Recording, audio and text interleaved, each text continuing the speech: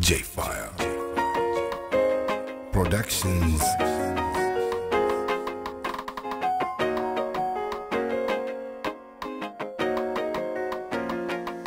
خلونا نتكلم اليوم عن صعوبة الزواج. خلونا نعبر عن التخليق بطريقة الرفض الشاب يتخرج يحاول أن يلقى تعيين. ما يتعين إلا وتعيينه ما يمشي إلا بواسطة. يتوسل بفلان وعلان يتوسل بيا حلجان حتى يحاول يتزوج من البنت له شغلة شنو الذنب؟ البنت هذه اللي انكسر قلبها ما لها أي ذنب. بالبنت ولا حتى ذنب الشاب الذنب على البلد اللي وضعيته. صايرة خراب وعنده شغلة وحدة يروح يشتغل عماله ينكسر ظهره بيها. فهموني شنو راح يكون حاله؟ يعين اهله أو يتزوج من اللي يحبها. حاير بالشغلتين شغلة تكون أقوى من شغلة. يبقى يفكر يصفن هو الوحيد حاير بعمره يفكر بالانتحار شنو موقفه قدام ربه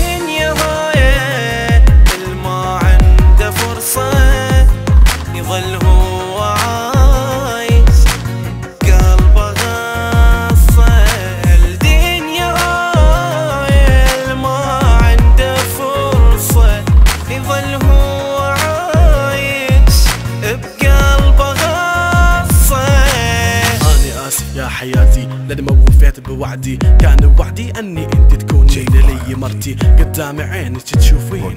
أنتي ظروفي. ظروفي ما تسمح لي. أجي أني وأتقدم لك.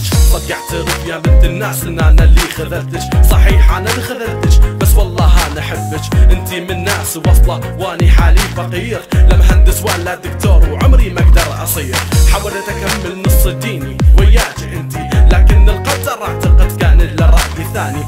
قدرنا نفترق ما نعيش إحنا بسعادة. كان قدرنا أن نبكي نتألم نشكي ونعاني هذه الدنيا اللي صعبة صدقي ما أقدر عليها. دنيا زايد حملها نفترق مو بدينا أرد أقول لك على شي واعتقد ما تعرفي الفقير بهالوقت الدنيا ويا ما تمشي. يا ربه عن وضعه يفرج عايش حياته بس وضعه